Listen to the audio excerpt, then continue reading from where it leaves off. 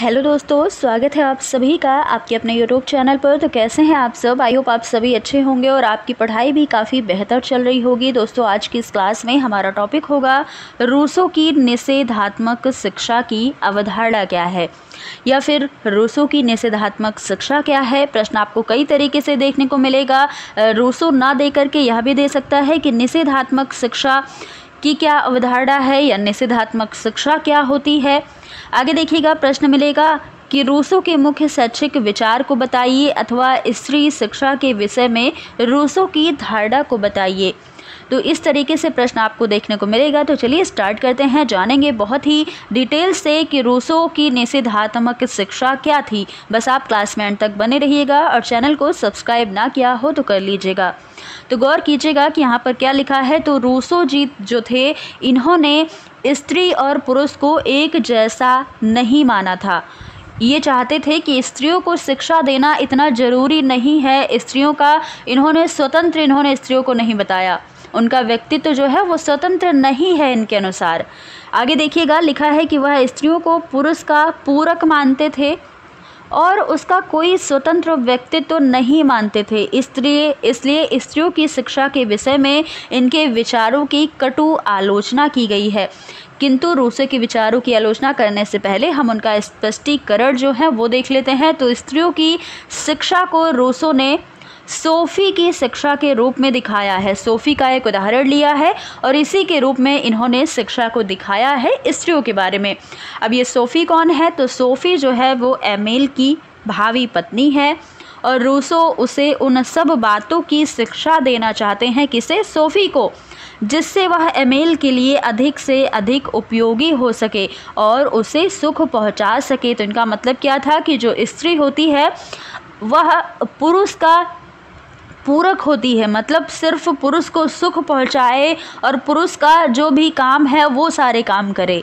शारीरिक दृष्टि से वह उसे हष्ट और सुंदर बनाना चाहता है, क्योंकि न केवल इससे वह अपने पति को सुख दे सकेगी, बल्कि स्वस्थ और पुष्ट संतान भी उत्पन्न कर सकेगी।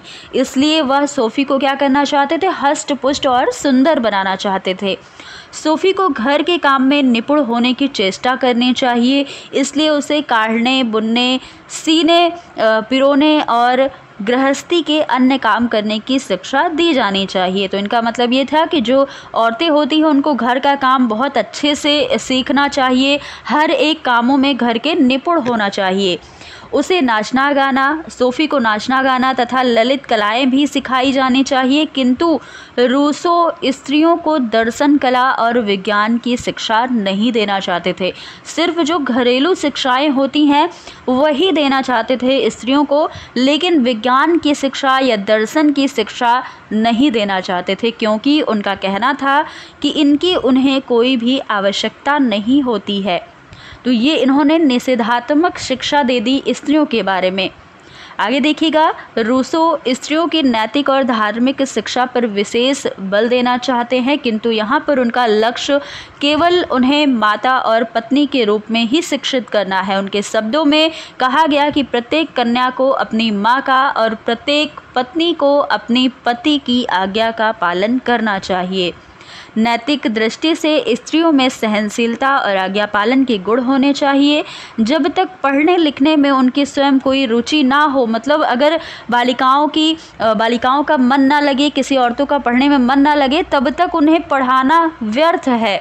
तो ऐसा तो भाई लड़कों के साथ भी होना चाहिए। अगर उनका मन नहीं लग रहा है तो उन्हें ज़बरदस्ती पढ़ा करके भी आप क्या करोगे? तो लेकिन इन्होंने सिर्फ़ स्त्रियों के बारे में ऐसा बोला। रूसो का विचार था कि स्त्रियों में स्वाभाविक रूप से पढ़ने लिखने की और रुचि उनकी नहीं होती है। वह लड़कियों को कठोर बंधन में रखना चाहते थे, जबकि दूसरी ओर लड़कों को पूर्ण स्वतंत्रता देना चाहते थे। इस सब में उनका उद्देश्य यही था कि स्त्रियाँ स्वयं साध्य नहीं हैं, बल्कि पुरुष की उन्नति का एक साधन मात्र हैं। उनका कहना था कि प्रत्येक पत्नी अपने पति के मनोविज्ञान का अध्ययन करना चाहिए, कि हमारे पति को क्या पसंद है, पति के लिए क्या करना चाहिए, जो पति के मन का हो मतलब पति के मनोविज्ञान का अध्ययन करना चाहिए और उसी प्रकार से उसे चलना चाहिए, जिससे वह उसके लिए अधिक से अधिक उपयोगी और सहायक हो सके और उसे पति की आज्ञाओं का पालन करना चाहिए और वे ही काम उसे करने चाहिए जो उसके पति को अच्छे लगें।